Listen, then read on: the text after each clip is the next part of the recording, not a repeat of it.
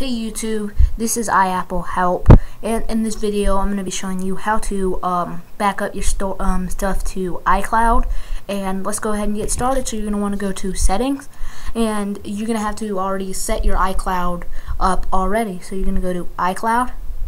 Uh, you're going to scroll down until you find these and you're going to go ahead and want to select whatever you want to put in your iCloud, whether you want to put your contacts um, that's been saved that you want to back up in iCloud. I, I recommend you uh, save your um, contacts, but um, that's up to you. You can also uh, save your mail. Um, you can set remi save your reminders, calendars, notes.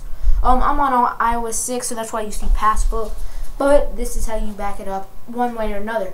So also you can uh, do Find My iPod data, which is um, the app Find My iPod, and it has your devices in that application.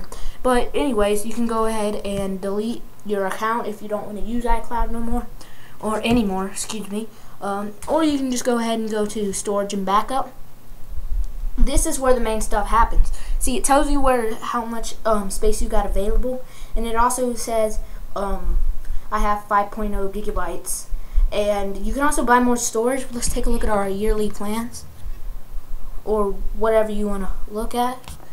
We have, here are yearly plans. We have 15 gigabytes, $20 a year. We have 40 gigabytes um, a year. We have 50 gigabytes a year. Um, they vary on prices. Like 50 gigabytes for iCloud is just about um, 100 bucks, which is a lot. Now this isn't RAM, like I said, this is your storage.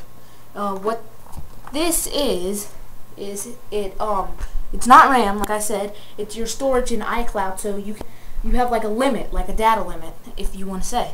But anyways, uh, we can go ahead and hit cancel, or we can select which one plan we want to buy. But make sure your iCloud backup switched on, and you can go hit back now.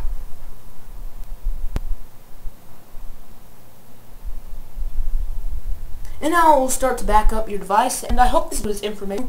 Um, if you have any problems, I hope you guys feel free to comment. Uh, if you like this video, rate thumbs up, and until next time, this is iAppleHelp 2.